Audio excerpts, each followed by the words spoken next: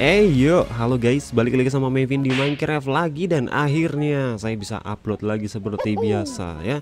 Karena teguran itu teman-teman. Dan udah banyak versi yang saya lewatin versi update MCPE gitu.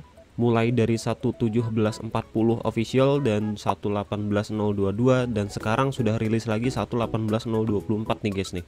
Dan ini saya lagi di laptop ya, nggak pakai HP karena malas klik kanannya kan susah gitu jadi ya males lah pengen pakai laptop sekali-kali kan belum pernah nyoba gitu.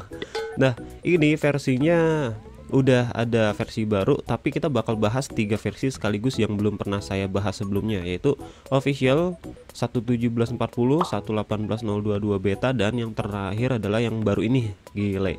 Tiga versi coy. Baru kali ini saya ngebahas tiga versi buset dah. GG bener. Tiga jam kemudian Nah sekarang kita sudah di tempat baru yang backgroundnya waduh gunung. Dan ini lebih fresh ya lebih kelihatannya lebih enak gitu lebih seger gitu hawanya lebih cihuy lah pokoknya. Nah kita bakal langsung aja guys. Uh, bentar. Nah di sebelah sini kita yang pertama itu kalau nggak salah Minecraft 1.17.40 yang official dulu teman-teman ya. Karena kemarin kemarin maksudnya saya belum bikin videonya makanya kita gabungin aja sama versi beta yang baru ini guys. Oke. okay. Kalau yang pertama adalah banyak perbaikan bug dan beberapa masalah. So itu udah pasti ya. Jadi versi beta juga yang 1.17.40 sebelumnya kan udah pernah saya bahas. Makanya buat teman-teman yang belum tahu itu bisa cek video saya sebelumnya. Jadi beberapa fix dan apa namanya beberapa perbaikan bug maksudnya itu udah banyak banget lah ya. Kalau nggak salah dari 1.17.40 itu segmennya ke bawah banyak banget. Makanya saya agak males sih kalau dibahas juga. Jadinya ya agak buang-buang waktu gitu maksudnya. Oke okay. uh, eh, oh ini salah warna nih. Maksudnya masih gabung warna putih nih. Seperti fix vegetasi Mountain Meadow di match ke Java Edition. Kalau nggak salah Mountain Meadow kayak gini guys. Jadi kayak gunung tapi dia tuh nggak ada esnya jadi kayak bukit lah ya. Kayak bukit teletabis gitu. Gimana sih? Jadi kayak bukit teletabis gitu. Dan mungkin vegetasinya uh, diperbaiki. Mungkin seperti itu. Intinya diperbaiki dan juga ditambahin New Mountain gitu namanya adalah Stony Peaks atau puncak gunung berbatu. Jadi puncaknya itu kayak gunung Maksudnya kayak gunung biasa cuman isinya stone sama gravel semua. Jadi puncak berbatu gersang lah variasi baru dari selain gunung yang seperti ini guys. Dan beberapa perbaikan yang pernah saya bahas di beta. Nah intinya di beta itu udah pernah saya bahas diperbaiki doang di versi official disempurnakan jadi biar nggak terlalu banyak bugnya. Tapi sorry banget nih yang saya bahas untuk versi officialnya sedikit banget. Jadi teman-teman bisa cek di changelognya untuk Minecraft 1.17.40 apa aja karena itu banyak banget ya. Takutnya nanti video ini jadi kelamaan kan gak enak juga. Kalau untuk versi 1.18.022 sekarang kita punya non experimental music baru namanya Other Side. Uh, ya benar Other Side teman-teman. Dan ini seperti ini Lena Raine kalau nggak salah ini masih bagian pembuatnya sama yang Pick Step ya masih satu pembuat gitu. Di sebelah kirinya ada Lena Rain Other Side. Nah ini musiknya nggak akan kalian bisa dapetin kalau kalian nggak download dari marketplace. Jadi kalian tuh harus uh, ke marketplace dulu. Kalau nggak salah pokoknya cari aja musik lah gitu. Kalian download kalau nggak salah ukurannya berapa ya? 195 MB kalau nggak salah. Nah sekarang kita bakal coba musiknya tapi saya bakal coba untuk ngegedein uh, suara musik ya. Bentar agak sedikit lola lama. Nah kita bakal coba gedein dulu set ya kan? Biar makin kedengeran nih ya kan? Nah kita bakal mencoba satu dua tiga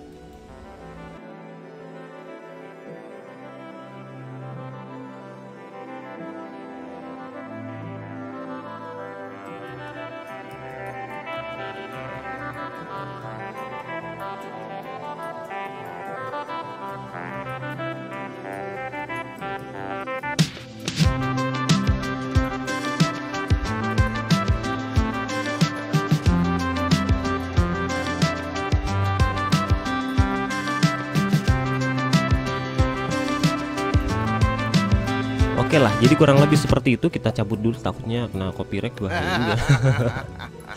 Oke, jadi musiknya seperti itu ya. Menurut saya sih ya easy listening dan juga agak sedikit ngebit ngebit gimana gitu ya.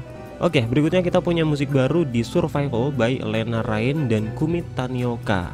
Saya kurangin dulu suara dari audionya karena nanti bentrok sama suara yang bakal saya kasih ya. Oke, nah kita bergeser ke sebelah kanan yaitu Vanilla Experimental Toggle untuk Sculpt dan juga God Horn. Nah, jadi bisa diaktifin seperti itu. Jadi sama aja sih kayak aktifin Cave and Clip toggle dan juga di bagian atasnya kita sekarang punya fit uh, option baru maksudnya. Jadi yang uh, old world itu bakal dihilangin kan biasanya kan ada old, flat dan infinite.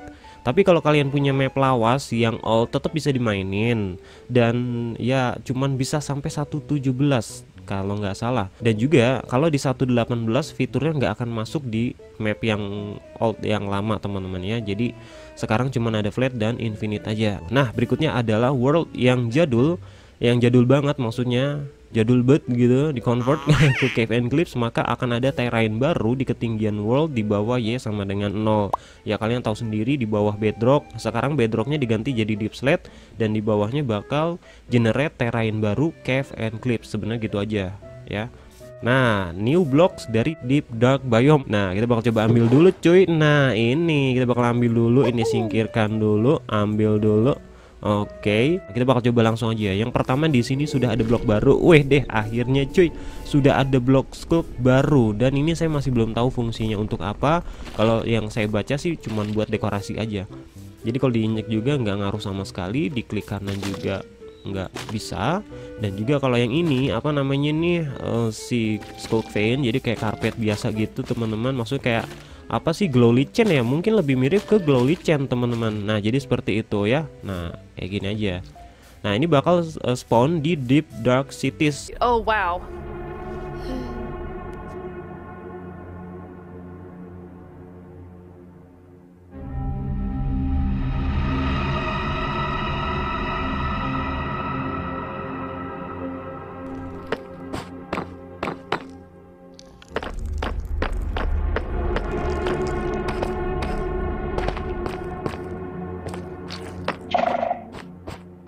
berikutnya adalah kita punya Sculpt Catalyst. Nah, begini guys. Saya tadi ada mob ya. Kita bakal coba spawn di sini, kita kill dia. Satu, dua. Lihat apa yang terjadi ya. Tiga. Nah, langsung menyebar. Jadi si Sculpt Catalyst ini bakal mendetek mob yang mati di sini. Kalau misalkan ada XP-nya, tergantung seberapa banyak XP, itu akan menyebarkan yang namanya Sculpt Block dan juga Sculpt Vein-nya di sini. And the main thing about the sculpt catalyst is it's actually what causes the sculpt to spread. As you can see here, whenever a mob dies, such as a zombie, near the sculpt catalyst, it actually spreads sculk underneath it. And the amount is based on how much XP that zombie would have dropped. dan kemungkinan bisa uh, spawn yang namanya uh, skulk sensor jadi skulk sensor bakal mendeteksi keberadaan kalian kalau misalkan kalian dekat sama warden lah udah metong lah kalian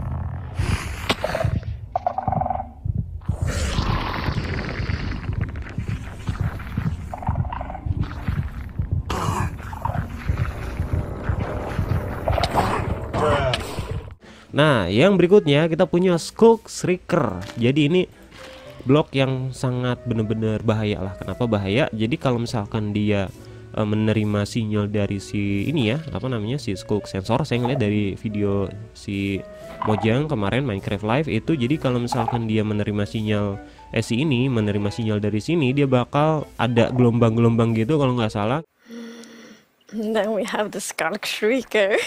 so when this block is activated, mhm, it's gonna give that really scary shriek sound that you hear, heard now. And it also gives this darkness effect, so it's like pulsating darkness. You can even see now when you're sneaking and you step on a skulk sensor, even sneaking it will activate. kita bakal coba lihat harusnya ada gelombang-gelombang gitu teman-teman. Dan ada efek darkness ya kalau nggak salah. Tapi saya nggak tahu ini kenapa ya kalau nggak ini ya? Nggak apa namanya nggak muncul gitu. Apa namanya efeknya? Udah bakal coba. Uh, kita lompatin. Saya nggak tahu dia munculnya pas ke trigger atau gimana gitu. Coba kita bakal coba pancing pakai mob sekali ya mungkin ya. Oke, set, kita matiin dulu, set, bakal nyebar dan ini kenapa ya? Nggak ada guys? Ya jadi seperti itu, mungkin emang kadang suka nggak muncul, harusnya sih muncul guys. Saya udah coba duluan masalahnya. Oke, kita baca dulu yang ini teman-teman. Di sini ada note, baru hanya bloknya aja, ya belum termasuk uh, struktur deep dark cities juga. Jadi wardennya juga belum ada, strukturnya belum ada. Jadi nyicil dulu nih istilahnya nih. Jadi belum ada wardennya, baru cuman bloknya. Nah, new effect atau efek darkness ketika ini ketika nih harusnya Skulk Striker ke trigger sama Skulk Sensor bertemu Warden nanti di 1.19 The Wild Update slash efek p Darkness kita bakal coba slash oke okay, efek p tar Darkness Oke, kita bakal coba 1 2 3 set. Nah, ini guys. Tuh, kalian bisa lihat tulisannya darkness. Jadi kayak gini. Persis. Nah, ini kalau misalkan di underground bakal jauh lebih gelap. Kalau kalian lagi ngelawan apa namanya si warden itu bahaya banget. Kalian nggak bisa ngeliat apa-apa gitu. Ya mungkin bakal ada yang nge-share tekstur gitu menghilangkan efek darkness pasti ada. Pasti Minecrafter mah apa yang nggak dibikin, apa aja dibikin cuy. Jadi seperti itu, ya. Cuman sayangnya di sini nggak muncul. Aduh, nggak muncul dia nggak mau ya nggak mau keluar dia nggak mau ke trigger coba pasang lagi siapa tahu ada nggak juga teman-teman ya pokoknya nanti kayak dia kayak keluar gelombang gitu ya gelombang gelombang maksudnya kayak gelombang 5G lah atau apalah. Oke berikutnya adalah block campfire sekarang drop 2 charcoal. Yang sebelumnya adalah cuman satu. Kita ambil dulu singkirkan yang ini bos. Oke kita bakal coba ambil. Nah jadi ini kalau misalnya di dropin sebelumnya cuma satu yaitu rugi bandar cuy. Begitu di drop nah eh dihancurin pakai piston bakal jadi dua. Begitu guys. Set. Nah jadi dua. Sama juga kalau misalnya diledakin pakai TNT ngedrop juga jadi dua charcoal ya kalau nggak salah duar nah jadi dua mantap Oke, berikutnya adalah light block sekarang nggak hancur saat diledakin. Nah, kita bakal coba langsung aja. Set. Nah, di sini saya sudah ada satu blok. Kalau nggak salah, sebelumnya itu begitu diledakin dia bakal le eh, ledak juga. Eh, maksudnya bakal hilang ya, karena efek dari ledakan. Kita bakal coba langsung di sini. Set. Jadi harusnya dia masih tetap.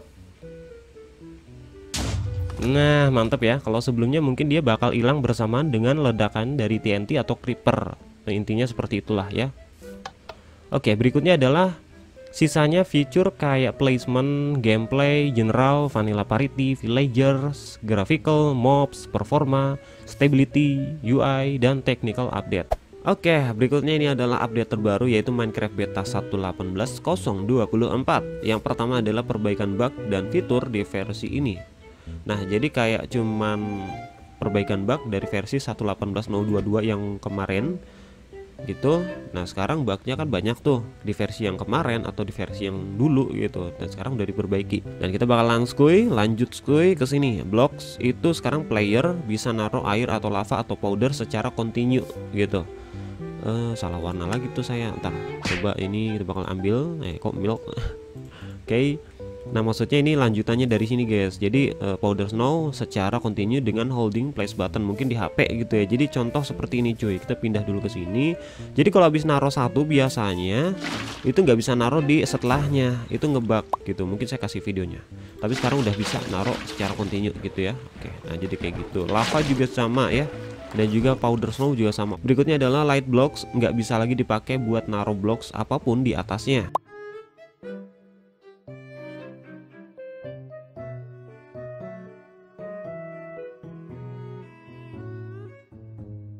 Oke, saya sudah ada light block. Nah, kita bakal coba. Jadi contohnya kayak gini guys. Jadi kalau kalian taruh kayak gitu, terus misalkan kita bakal coba ambil ini blok skulk taruh di atasnya nggak bisa. Jadi dia kayak masuk ke dalamnya gitu.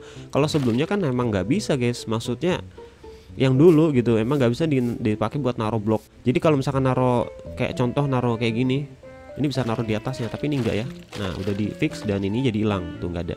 Oke berikutnya adalah main shaft. Pilar di main shaft nggak lagi generate di lava. Jadi ada beberapa generate main shaft itu uh, Pilarnya atau tiang penyangganya itu malah uh, di bawah atau setara dengan lava. Dan itu aneh banget ya. Tiangnya kayu, ya kebakar Gimana sih? Nah itu udah udah di fix, sudah dibenerin. Dan mungkin sistem lavanya generate lava dan generate mineshaft itu dibikin bertolak belakang kayak magnet. Jadi nggak bakal menyatu gitu ya Nah jadi seperti itulah intinya Oke, okay, mineshaft nggak lagi generate dirt di daerah sekitarnya. Ini, ini aneh juga. Kenapa? Karena di bagian bawah seharusnya udah nggak ada dirt ini malah ada dirt di bagian lantai di daerah mineshaft itu mungkin bug yang harus diperbaiki dan ke depannya sepertinya nggak boleh ditambahin lagi maksudnya nggak boleh dibiarkan lagi muncul bugnya Berikutnya adalah fix masalah saat world menggunakan banyak RAM. Nah ini, jadi contohnya kayak di Minecraft versi berapa itu ya, kalau nggak salah itu menggunakan banyak RAM. Jadi kita mainin uh, map kayak gini tuh ngelek banget gitu. Jadi penggunaan RAM itu tidak tepat. Jadinya ya nggak tahu itu RAM dipakai buat apa. Jadi lelet gitu. Apalagi sambil record, waduh udah gagal konten tuh kalau saya. Nah, berikutnya adalah sisanya hanya fix gameplay, items, mobs, world, generation, UI, technical update, dan lain-lain. Bisa dibilang untuk 1.18.024 itu cuma perbaikan bug, dan di 1.18.022 itu banyak update fitur baru dan blok barunya. Kalau 1.17.40 adalah versi officialnya, gitu. Oke, ya. Dan ya guys, untuk video kali ini cukup segini aja buat teman-teman yang suka dengan video saya kali ini. Saya minta kebaikan kalian buat like di video ini, share dan jangan lupa subscribe di channel saya. Oke guys, saya pamit dulu guys. Bye.